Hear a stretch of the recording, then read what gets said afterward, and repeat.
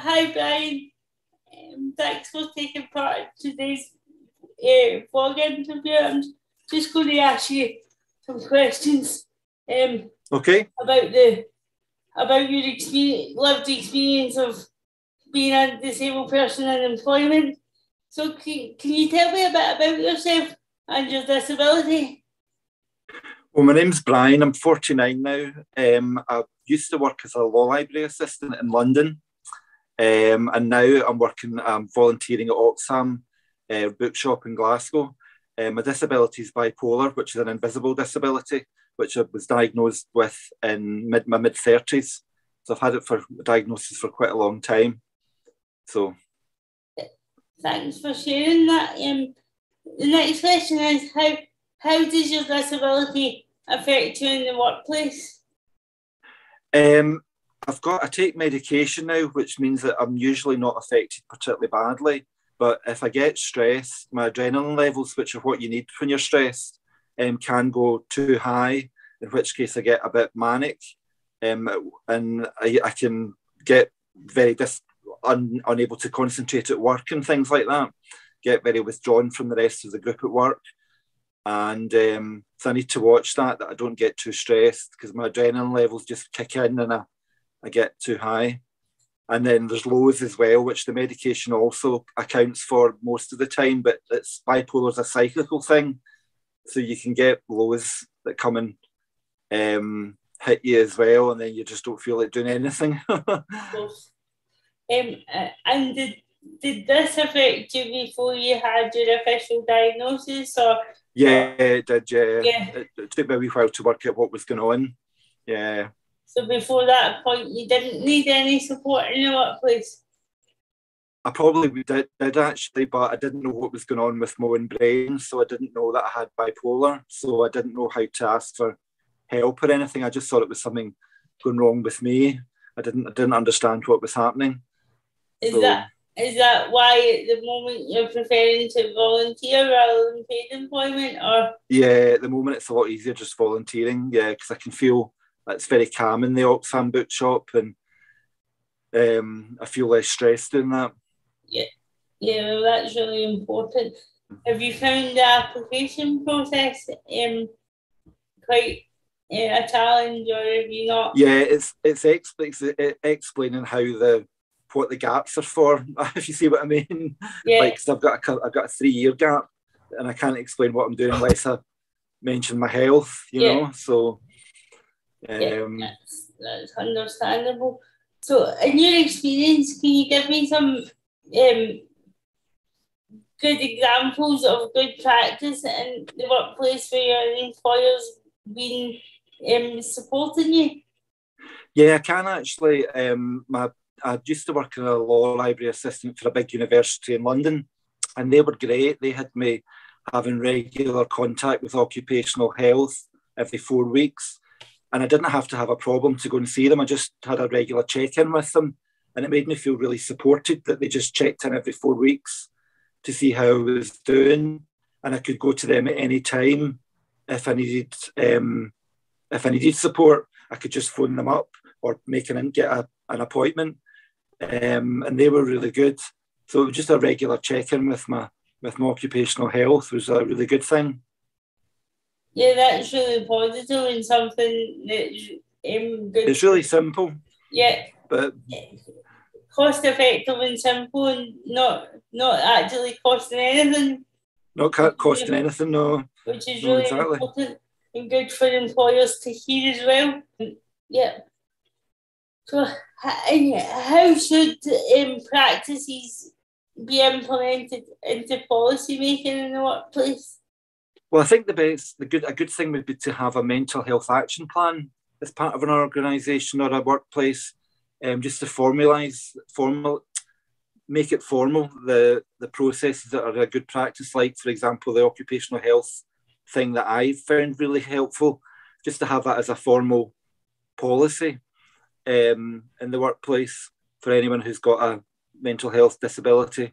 Yeah, that, I would think that's quite important. That's a really good suggestion and um, I, I don't know myself if a lot of organisations have that type of policy in place. So if they haven't, that's a really good suggestion. Um, yep, for going forward. Um, I, I'm not really sure if you have any experience of the next question, but um, what could supported employment programs do better? Um, I don't really have experience of a, a, a definitive supported employment um, practice, but um, but with the mental health action plans, I think they should be extended to everyone in the workplace because everyone comes under stress at some point. Yeah. So mental well-being in the workplace is kind of an all-inclusive thing rather than just people who've got a recognised disability like myself. Yeah, of course. you could extend it to everybody. Yeah, yeah, and then that would be more inclusive for everyone. Yeah. Um. So absolutely. Um, what about? I know you you don't have um first-hand experience, but what about like? Have you heard anything about the time frames of these supported employment programs and things like that? Um, have you got any thoughts on on that? How, do you mean like in terms of all the organisations implementing things yeah, like, like timetables? Some, some support um, supported employment programs are only for a certain number of weeks in like 13 weeks or whatever. Aye, it'd be better to extend them, I think. Yeah. yeah. Would it help? Do you think if it was longer and just from your, your own lived experience, how would you feel if you were on a program like that? Would it help if it was longer or you had more support when the program was finished? I think it, I think it would help just given my experience of the occupational health at the university I worked at. That went on for the whole four years I was there. They never that I was always going in every four weeks just to check up with them. And sometimes I just had to say I was fine and things were going well.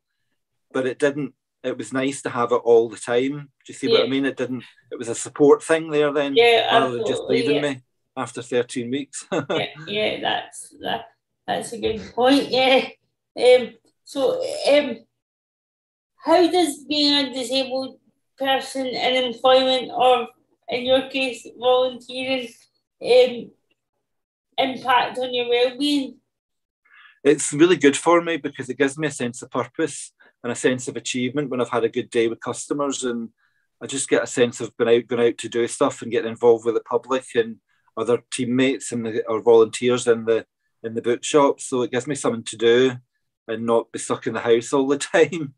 Uh, How did you feel before you had the volunteering? Um, have you seen a change in how you're feeling as a, as a person in, in your all round well being?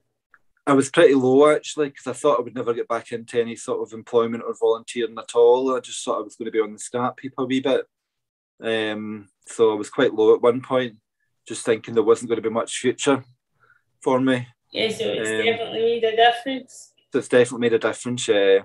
How did you get from like you know feeling like you weren't going to be able to get into employment or volunteering to actually getting that opportunity?